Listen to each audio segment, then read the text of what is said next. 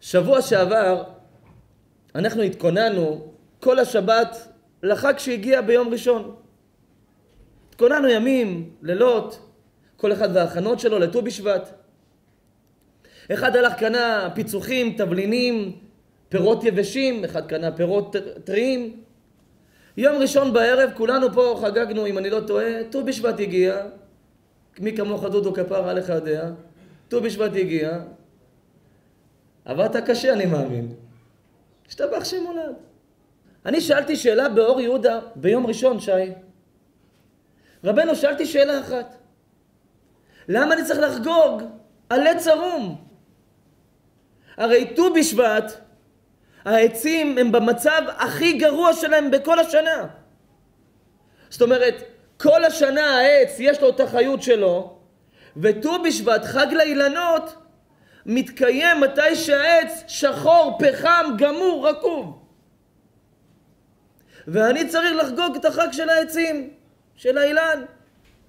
ט"ו בשבט הגיע חג לאילנות. בעוד שלושה חודשים אנחנו לא חוגגים, אנחנו מברכים על האילן, אנחנו מברכים על העצים, אנחנו מברכים על הפירות. אנחנו באלף בניסן לא עושים חג, אלא עושים ברכת האילנות.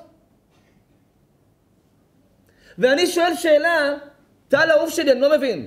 אני צריך לברך על עץ שחור, סליחה, אני צריך לחגוג שהוא עץ שחור, ואני מברך שיש עליו פירות?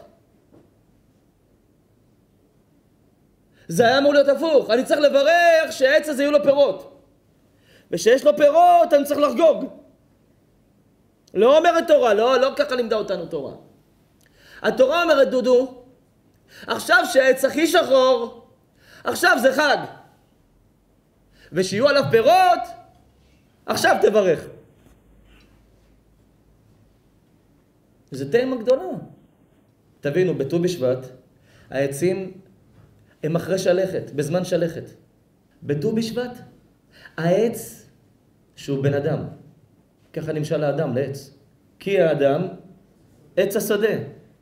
כמו שלנו יש כפות רגליים, יש לו שורש. ולנו יש רגליים חזקות, יש לו גזע.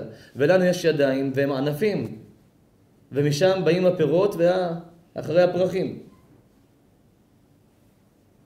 אני שואל שאלה, מה שהגמרא שואלת. למה שהעץ גמור אני צריך להתחיל לחגוג? ושיש פירות אני רק מברך. אומרים רבותינו,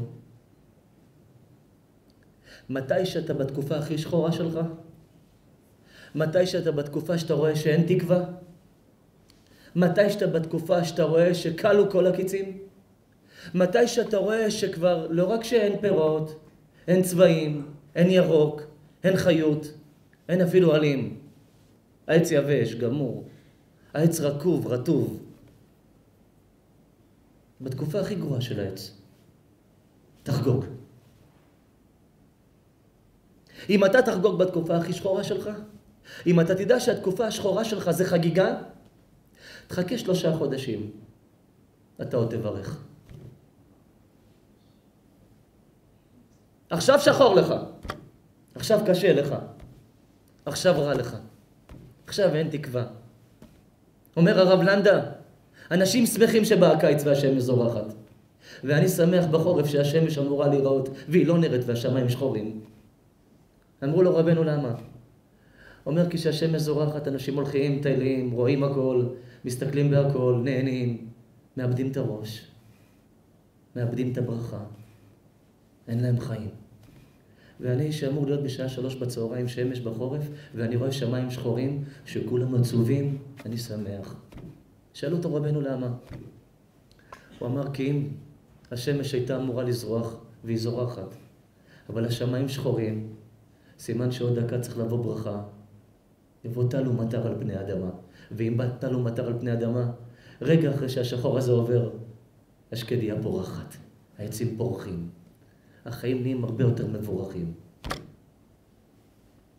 אומר הרב לנדה, אנשים אוהבים לראות הכל הולך חלק. הכל הולך ורוד. הכל הולך ירוק. גם אוהבים לעשן ירוק. אוהבים שהכל סטלה, הכל סבבה, הכל זורם, הכל הולך חלק. אומר הרב לנדה חלק זה מדרון.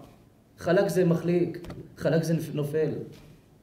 אומר הרב לנדה שאדם עולה במדרגות, קשה לו. אבל כשאדם מחליק מהם, קל לו. אחר כך כבד לו. אחר כך כואב לו. אומר, יש אנשים, הנחתם קשה. וואי, עשרים דקות לקח לי לעלות למגלצ'ה.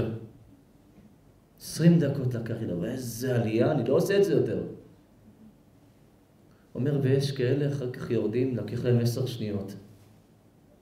אומר, כשתדע שהולך לך חלק ומהר, וזה רק כשאתה נופל. ושהולך לך לאט וקשה זה כי אתה עולה. אומר הרב לנדה, רק כשאתה רואה שחור תשמח. רק כשאתה רואה קשה תחגוג. כי עוד כמה חודשים אתה תברך. לא, אבל הרב, אין לי עבודה. אה, אתה לא מכיר אותי, הרב, אני כל החיים מה לי לתת. עכשיו אני זקוק לקבל. לא, אבל מה, אין פרנסה, אין כבר שנה מאז הקורונה וזה, אני לא...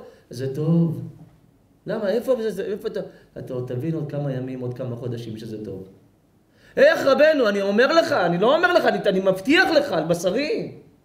אם קשה לך, אתה סובל, אתה מתייסר, אתה עובר עינויים, אתה כבר מרגיש שהעץ הזה ריק, אין סיכוי. הוא חלוש, הוא גמור, הוא בקושי עומד. הוא שחור, הוא פחם, הוא רקוב, הוא רטוב, הוא מת. זה הזמן שלך לחגוג. תתחיל לחגוג. כי ישב בחושך, השם אור לי. אתה יודע מתי יגיע לך אור? רק כשאתה תהיה בחושך. אתה יודע מתי אתה תאריך את האור? רק כשאתה תשב בחושך. כי אומרים גאוני הרפואה, רפואת העיניים, אדם רואה מדויק יותר בחושך מאשר באור. כי בחושך הוא מתמקד. באור הוא רואה הכל. בחושך הוא מתמקד בדבר שהוא נכון. קח אדם באור, תראה כמה הוא רואה הכל, הכל, הכל מואר.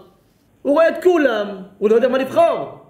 אבל אדם בחושך, הוא נדבק במטרה אחת, הוא מסתכל עליה, היא ברורה לו. הוא יודע, משם אני אצא. זה הכי נכון לי. אנשים נבהלים שרואים חושך. אומר הרב לנדה, אני נבהל שאני רואה אור. אני רואה שאנשים הולך להם חלק, אני נבהל. שתדעו לכם, הדברים הכי טובים יוצאים מהדברים הכי קשים.